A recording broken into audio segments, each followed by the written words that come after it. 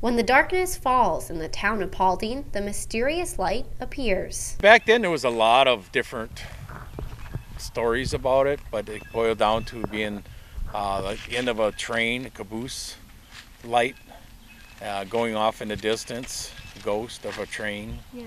That's more or less what it boiled down to being that one there, but I've heard it to be in other stories too. Sightings of the light have been reported for decades, while most claim the first sighting was in the 1960s. Some others believe it was spotted even sooner. My cousin's husband, Don, uh, they've been coming here quite a while, and I've known quite other people that come here. Some call it a spirit, others swamp gas, and skeptics identify the optical phenomenon as something else. But what exactly is the cause of the beaming light over the valley? We took somebody with, uh, we took their pickup truck and had them set up the adopted highway sign that we saw. And uh, they turned on their hazards and flashed their brights. Back then, I don't know if it's true right now, but there was no cell service here. So we couldn't contact, but we kind of at dusk you could see the car. While headlights were determined to be the most probable, other theories were also addressed. We have all these valleys here, and especially early in the uh, the summer, it's very cold in those valleys. It never really qu- quite warms up until about this time of year.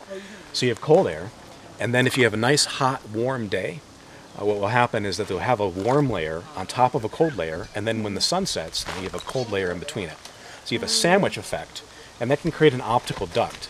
And one of the things we've observed but never recorded is that just over the horizon, uh, there are there used to be at least some blinking red um, lights from a radio tower, and those would be those would be visible just before sundown and right after sundown, and then they would disappear. The original experiment was conducted back in 2010 but was reorganized this week for a special television program. So they contacted me in May or June um, and wanted to know if they could come out. Although these findings vary, not everyone believes the results. Yeah, sometimes it's, you know, brighter than others, but um, yeah, it's always been in the distance and very eerie looking to me. The light has become an international phenomenon with visitors coming from all over the world to get a glimpse. It's quite a popular place. It still is. I mean, you just look around. There's there's never a lack of traffic back here. The town of Paulding has drawn in various TV crews throughout the years, including a recent one working on an undisclosed special around the light.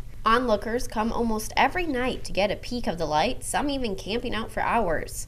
Others continue to bring their families and share the experience.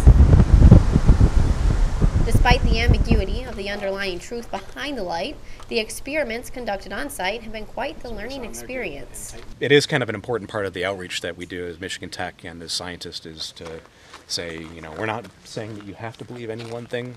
We're just saying we're just providing the evidence and hoping that uh, that you can find something interesting in it. The true mystery behind the light, though, lies in the eye of the beholder. Melanie Palmer reporting for ABC 10 and CW5 in Paulding.